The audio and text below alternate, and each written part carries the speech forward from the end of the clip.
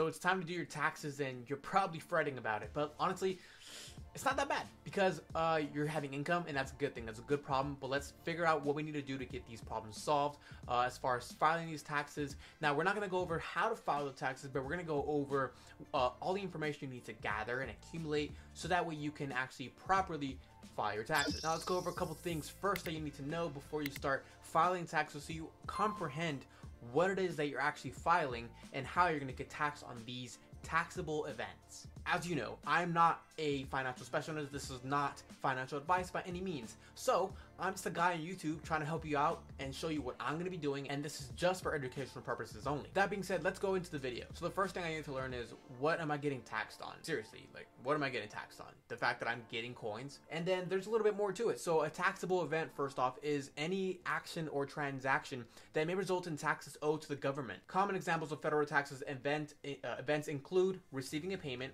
of interest and dividends, selling stock shares for a profit, and exercising stock options. Okay, so taxable event just means that there are events, right, where you can get taxed on certain transactions. And for us, it would mean these mining transactions whenever we receive those transactions into our wallet. Now, there's going to be two taxable events uh, that we get hit with, right? So for one, it's gonna be the day that we receive that cryptocurrency into our wallet. Now, the next is when you actually sell and liquidate that position, that holding that you had, that coin. You get taxed when you receive the coin, and then you also get taxed as a gain or a loss when you sell that coin and turn it into cash into your wallet. Now, whenever you receive the coin, that is going to be categorized as income tax. The second part, that is going to be categorized as a capital gain or capital loss if you sold it below the price that you received it at. Now, capital gain is the appreciation in the worth of a capital asset.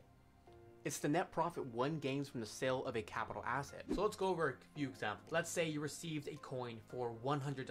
Upon receiving that coin, you get taxed on that $100.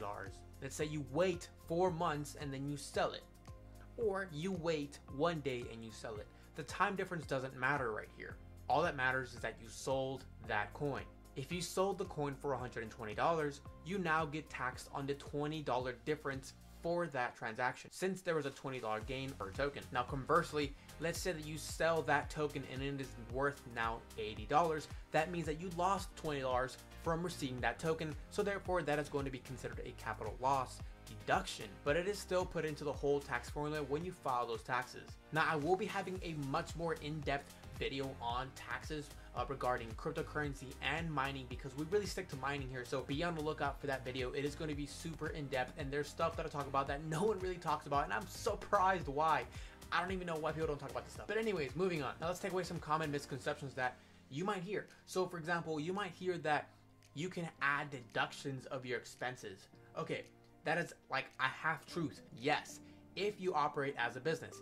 If you don't operate as a business, then you don't qualify for those expenses because you're considered a hobby miner or a just you know you're just you're just getting some side income. Again we'll talk more about that down the road because that is much more in depth but i think it's the way to go if you are a full-time miner or maybe in a part-time miner i mean but you can actually add in those expenses and that could potentially really help you out. Now let's start over. Let's say you received $100 as a token just like in the previous example but this time you sold the token or coin one year later you now don't have to get taxed so heavily on that return since you held it for a long period of time. The difference that we just mentioned is the long-term and the short-term capital gains tax. I will put more information on this in the description below because I think it's super important that you realize the difference and the key benefits that it can offer for you. Now it does have to be a year, that is a time limit. So if you're expecting that one year long-term capital gains tax, then make sure that you actually held it for a year. Okay, so everything we'll be talking about is kind of theoretical. So now for you to actually take the action and file this,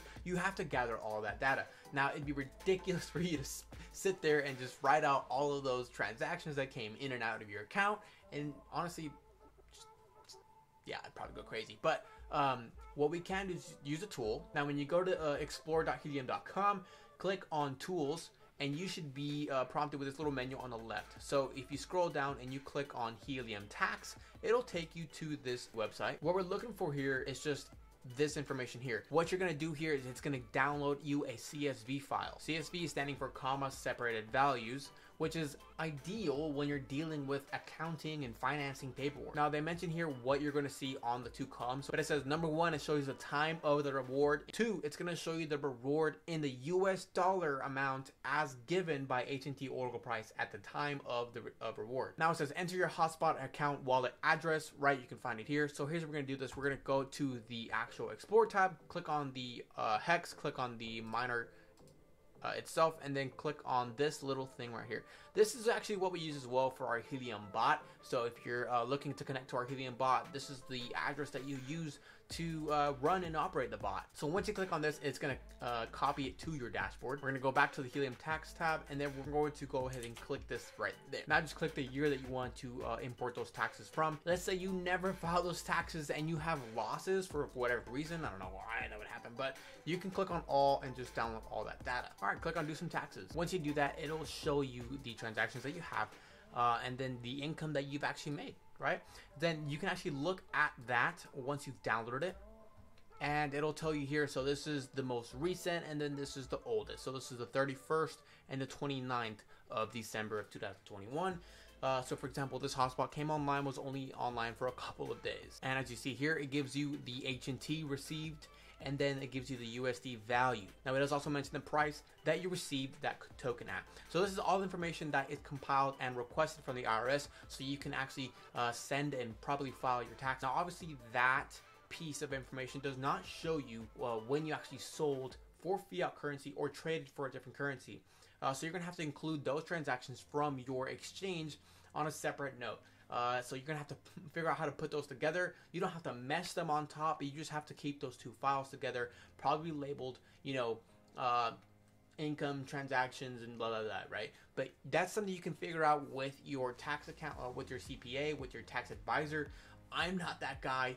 I'm just telling you what files you need to put together. So before you go though, it is important to note that uh, making a transfer from one wallet to another is not a taxable event. I'll drop links down below for references. Look it up on IRS, tokentax.co.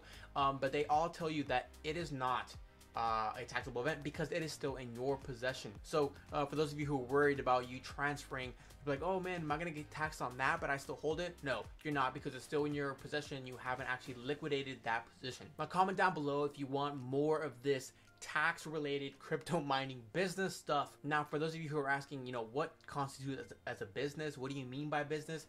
It means something legally formed, an entity formed for the purpose of or the trade of that business. Now, I wasn't reading anything, but I'm telling you, that's what it is. It's it's something that's specifically designed as an entity, legally wise, uh, for you to come, you know, for you to make those uh, transactions, those those demands, those investments, those deductions uh, that you need to file. So that would be an LLC, S corp, C corp.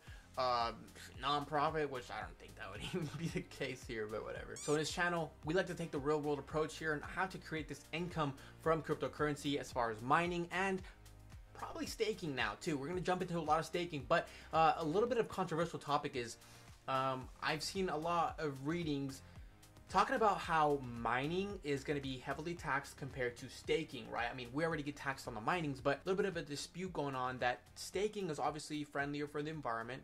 You know, debatable depending on how you look at it. But yes, uh, comment down below your thoughts. But uh, you might get some kind of incentive on staking cryptocurrency. So that is going to be super sick to find out. I mean, 2022 uh, is really just opening up the doorway for tons and tons of questions, really.